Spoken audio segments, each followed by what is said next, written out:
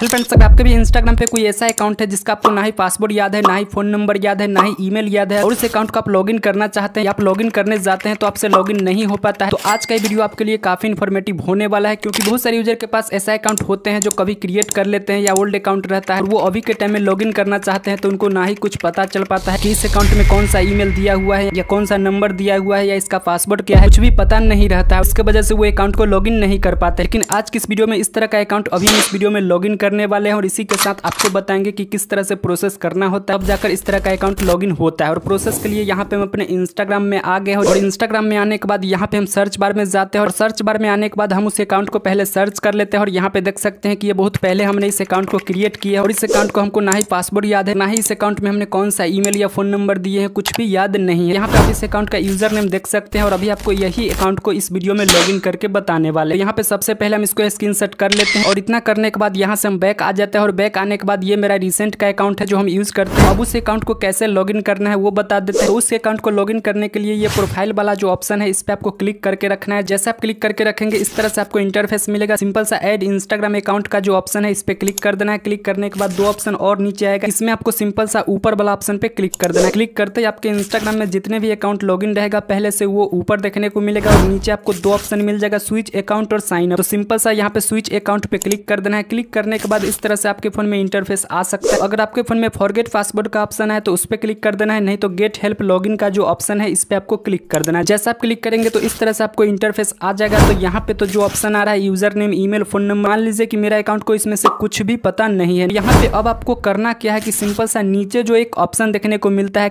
cannot reset your password simple सा आपको ये वाला ऑप्शन पे क्लिक कर देना है। क्लिक करने के बाद नेक्स्ट पेज इस तरह से आ जाएगा। तो यहाँ पे आने के बाद अब आपको ध्यान देना है, ऊपर आपको कुछ ऑप्शन मिलेगा। रिकवर योर इंस्टाग्राम पासवर्ड और उसी के नीचे your account has been disable तो यहाँ पे आपको क्लिक करना है। ऊपर वाला ऑप्शन पे recover your Instagram password click करने के बाद नेक्स्ट पेज इस तरह से आ जाएगा। अब यहाँ पे आपको क्लिक करना है। नीचे ऑप्शन मिलता है विज़िट दिस पेज का। जैसे हम इस पे क्लिक करते हैं तो क्लिक करने के बाद एक और पेज इस तरह से आ जाएगा। यहाँ पे कुछ ऑप्शन देखने को मिलेगा। My account was hacked I forget my password और उसी के नीचे दो तीन ऑप्शन और मिलेगा। सिंपल से आपको सेकंड वाला ऑप्शन पे क्लिक करना है। क्लिक कर देने के बाद आपको नीचे नेक्स्ट का ऑप्शन मिलेगा। इस पे क्लिक कर देना है। क्लिक करने के बाद यहाँ पे कुछ प्रोसेस लगेगा। इस तरह से आपको इंटरफेस मिल जाएगा। तो यहाँ पे अब आपको क्या करना है कि यूज़र नेम को आपको यहाँ पे फिल करना है। यहाँ पे जो मेरा अकाउंट था, उसका यूज़र नेम को हमने टाइप कर दिया और इतना करने के बाद आपको नीचे ऑप्शन मिलेगा सेंड लॉग इन लिंक तो जैसे हम इस पे क्लिक करेंगे क्लिक करने के बाद इस अकाउंट पे जो भी ईमेल रहेगा, उस ईमेल का यहाँ पे कुछ कोड भी देखने को मिल जाएगा। इतना करने के बाद आपको आ जाना है यहाँ से बैक और बैक आने के बाद आपको अपने फ़ोन में जीमेल वाला एप्लीकेशन को ही ओपन करना है। यहाँ पे आने के बाद इंस्टाग्राम की तरफ़ से एक मैसेज भी आ चुका है। हम इस पे क्लिक करते हैं। क्लिक करने के बाद ऊपर आपका यूज़र नेम देखने को मिलेगा लॉग और रीस्टोर योर पासवर्ड तो अगर आप डायरेक्ट लॉग करना चाहते हैं तो आप ऊपर वाला ऑप्शन पे क्लिक कर सकते हैं। तो यहाँ पे पासवर्ड याद करने के लिए हम पासवर्ड पे ही क्लिक करते हैं। क्लिक करने के बाद यहाँ पे हम दो इंस्टाग्राम यूज़ करते हैं तो यहाँ पे दो आ गया है तो हम किसी एक को सिलेक्ट करते हैं। सिलेक्ट करने के बाद यहाँ पे पासवर्ड फिल करने का ऑप्शन आ गया हम एक न्यू पासवर्ड को यहाँ पे फिल कर देते हैं। पासवर्ड को फिल करते ही यहाँ पे अकाउंट लॉग हो गया है। यहाँ पे हम अपने प्रोफ़ाइल पे क्लिक करते हैं और यहाँ पे यूज़र नेम देख सकते हैं। ना ही मुझे पासवर्ड याद था, ना ही फ़ोन नंबर और ईमेल कुछ भी याद नहीं था। काफ़ी सिंपल सा प्रोसेस था। तो उम्मीद है कि ये वीडियो आपको पसंद आया होगा। इसी तरह से इन्फॉर्मेटिव वीडियो के लिए हमारे चैनल पीआरपी टेक को